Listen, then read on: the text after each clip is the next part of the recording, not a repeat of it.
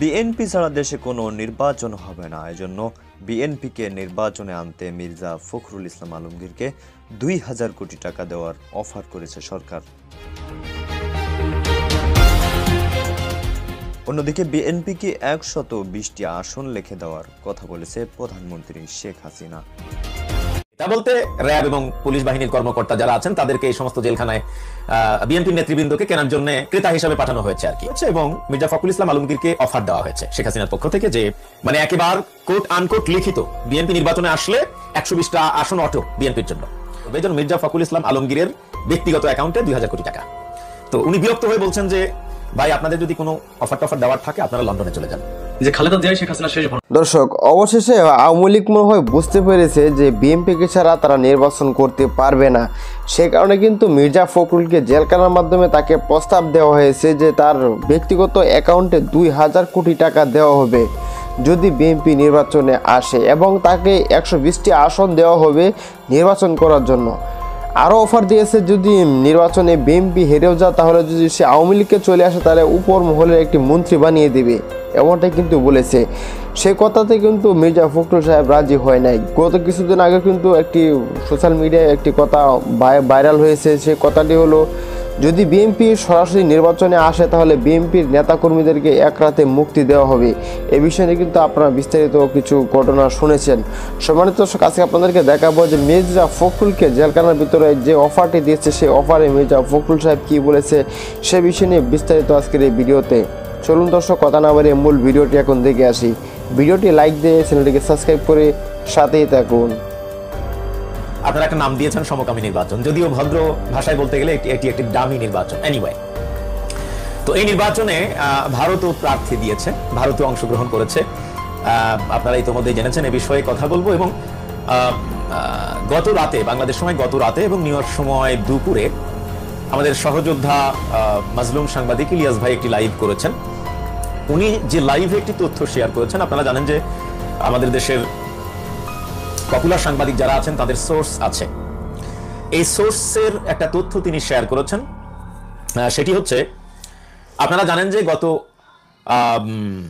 অক্টোবরের আঠাশ তারিখ বিএনপি, জামাত এবং আওয়ামী লীগের যে ত্রিমুখী মহাসমাবেশ ঢাকায় অনুষ্ঠিত হয়েছিল, সেই সমাবেশের পর থেকে বিএনপি, জামাতের উপরে এমনভাবে শেখ হাসিনা তার পুলিশ লীগ লেলিয়ে দিয়েছেন যে এখন বলা যায় যে বিএনপি এবং জামাত পরিচালনার জন্য যে একটা মানে প্রথম সারির নেতা থাকতে হয়, সেই নেতারা এখন নেই বললেই চলে।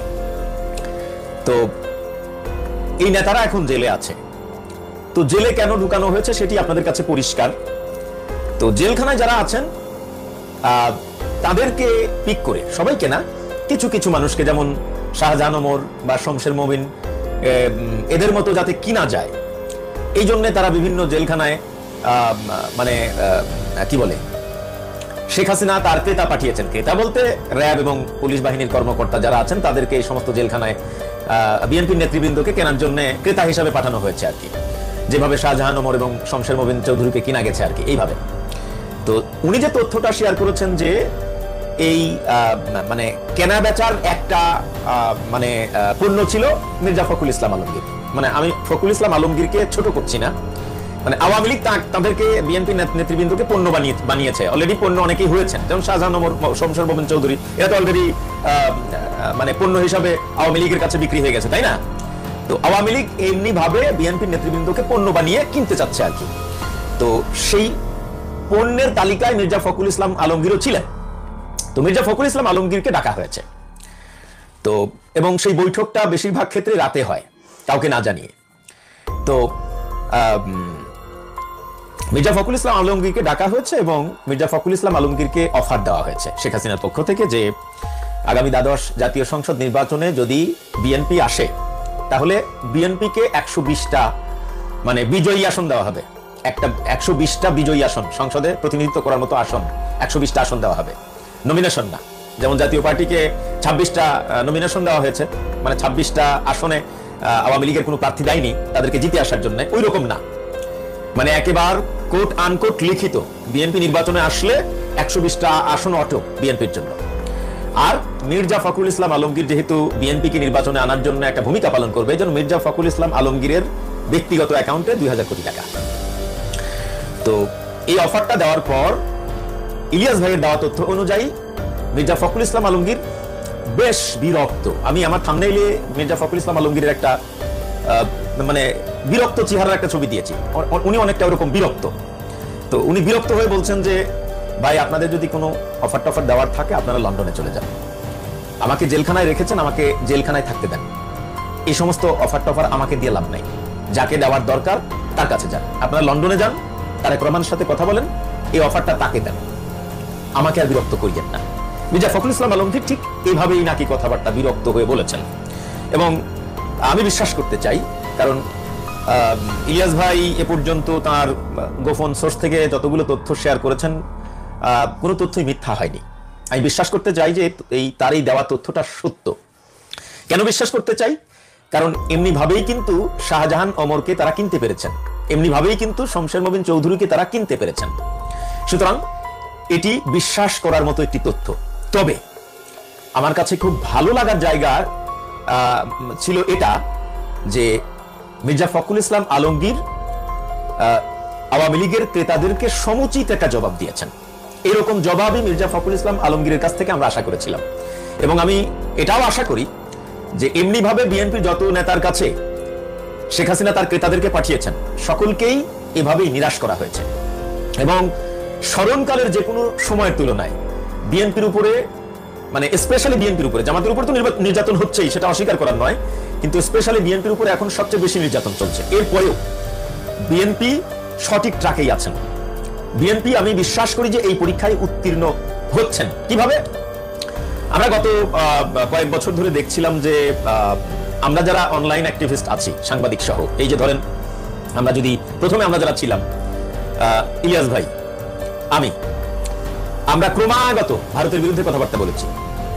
আর অ্যাক্টিভিজম করেন না। এমন অনেক বড় সাংবাদিক সাংবাদিকদের মধ্যে ডক্টর মাহমুদুর রহমান।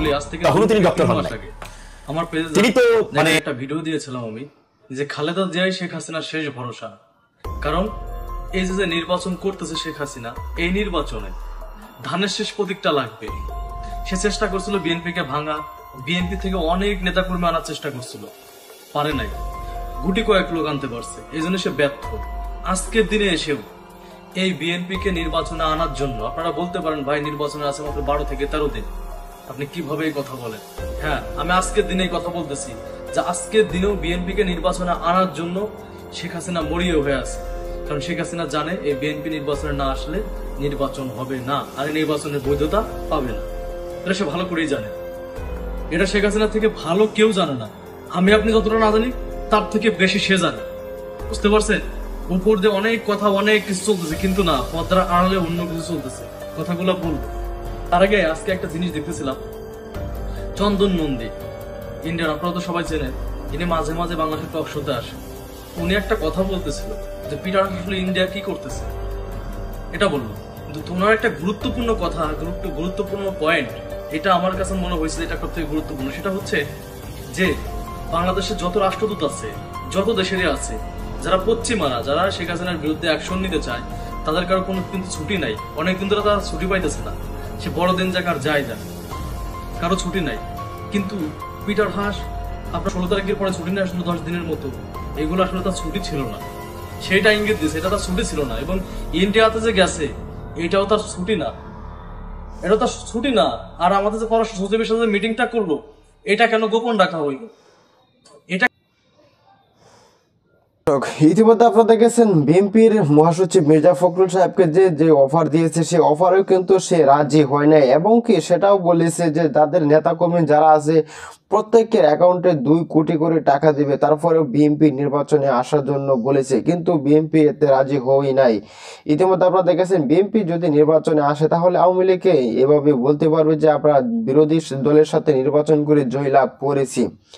এক্ষেত্রে আপনাদের গেছেন বিএনপি কিন্তু তারা নির্বাচনে আসতেছে না। দর্শক, এ বিষয়ে আপনাদের ব্যক্তিগত মতামত অবশ্যই কমেন্টস বক্সে জানিয়ে দিবেন। দেখা হবে পরবর্তী কোনো ভিডিওতে। সে পর্যন্ত ভালো থাকবেন, সুস্থ থাকবেন। আসসালামু আলাইকুম।